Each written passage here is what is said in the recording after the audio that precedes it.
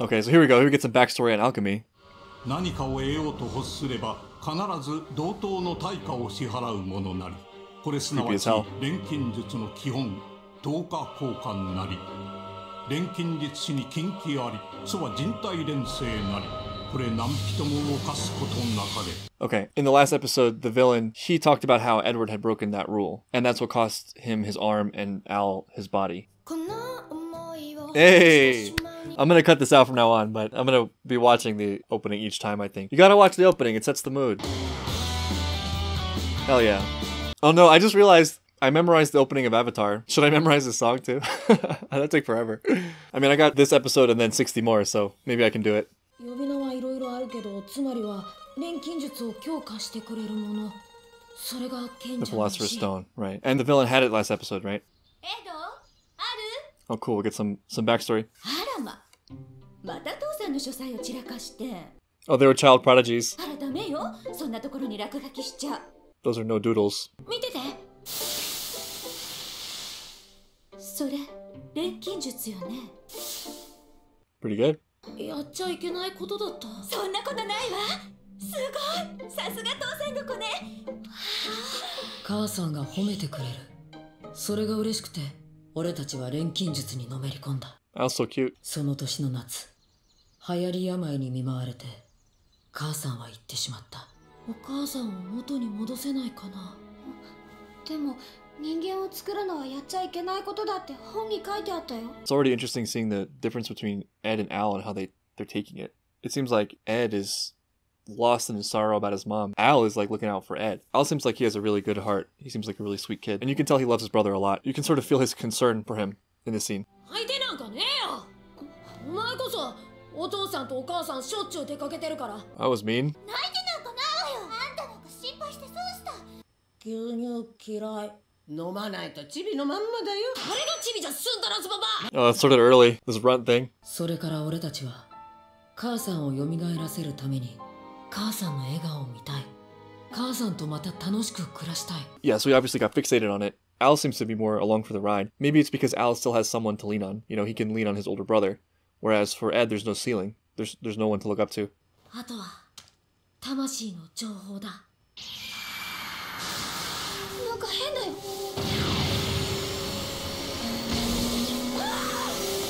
his arm. And his other arm.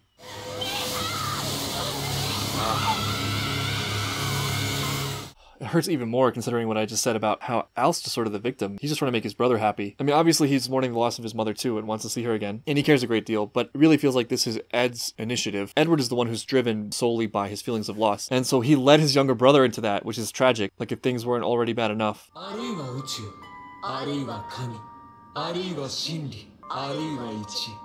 そして俺はお前だ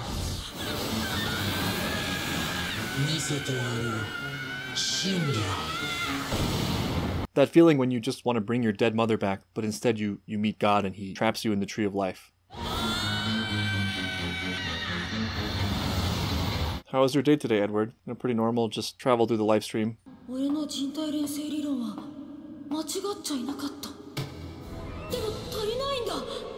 もう少し先に俺の求めているものが。Is that his mother? Holy shit. Crap. 返せよ。弟なんだ。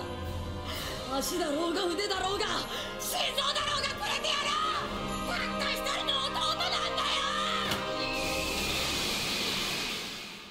That was horrific because he got what he wanted, but it's like a, uh, like a, the devil's bargain, you know. He got his mother back, but it was the most gruesome image of his mother. And then he lost the like the only person he had in his life who still loved him, and he's responsible for that. And he lost his leg, and I guess the reason he lost his arm is because that was the the price to bring Al back to bind him to the suit of armor. But what's scary and I think also very revealing for Edward is that when he met that being or whatever it was, he's just not accepting the reality. Like in his mind, he just hasn't gone far enough. You know, it's like he's doubling down on, on this thinking. So even despite this tragedy, I feel like he might not have learned the the lesson. You know, the feeling behind this is really moving to me because in a way it speaks to the frustration of not being able to bargain with the universe you know, you can't bargain with the laws of reality. There are so many ways you can respond to tragedy. You can become resentful, you can deny reality, you can you can lie to yourself, you can seek other things to make yourself feel better, but all of those do take a toll. I already love Al so much. He's such a good kid. He doesn't deserve that. And he's still going to be loyal to his brother no matter what. Full Metal Alchemist. So we're back to the present. How old are they now? 俺たちみたいにな。 Yes, even they're aware of some of the horrors of the things the army has done. 地獄なら見たさ二人とも That's true. もう十分にな And li- very literally in some ways as well. お客さんにはなちょっとあんた軍人がいきなりなんだい Do even the local people not like soldiers? 君たちの家に行ったぞなんだあのありさまはごめんなさい 許してください。ごめんなさい。まさかこんな子供が不完全とはいえ人体錬成を行い魂の定着まで成し遂げるとは。Yeah, that was a pretty amazing last minute move. さまざまな特権や最高レベルの研究が可能となるのです。この子たちが元の体に戻る方法もあるいはあれはあれは人間なんかじゃなかった。Oh god, she found it? That's awful. リザでいいわリザ・ホークアイよろしくねリザさんは人を撃ったことがあるの What a question. She has. 絶望のまま一生を終えるか可能性を求めて軍に神戸を垂れるかそこに可能性があるならば元の体に戻るために前に進むべきだろうたとえそれが泥の川だったとしても And for Ed, who's just lost everything and has experienced actual hell in some ways, this is a lifeline. This is like the best lifeline he can see. The the old woman correctly knows that it's a danger for him because it's going to be more of the same. And this guy's sort of playing him a little bit, right? Like he's saying exactly the right things to give them hope, but he's interested in their power. じゃあさよならねお嬢さんウィンリーですそうウィンリーちゃんまた会えるといい I'm わね guessing this is going to be important. I have a feeling they're going to meet again. 来るでしょうか来るさ Yeah, of course he will. 無気力な目をしてましたけどそうかね Why does he seem so excited by that? That's a hell of a backstory. 手術とリハビリでどれぐらいかかるだいたい3年ってとこだね1年だ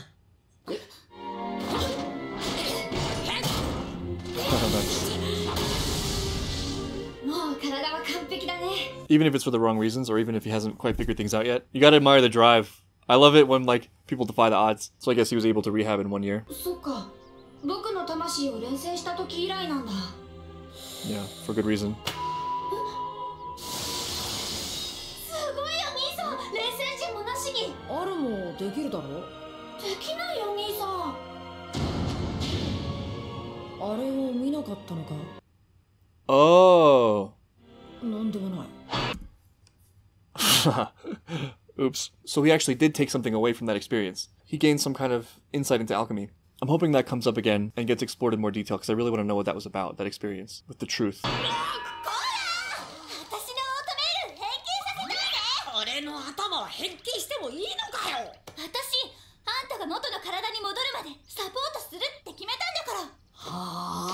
Is this going to be a love interest for him? 12歳の子供が来たというのでな。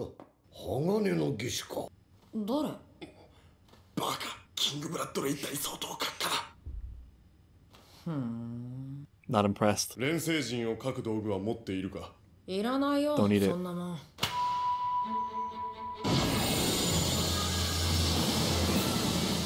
So I guess this means he passes.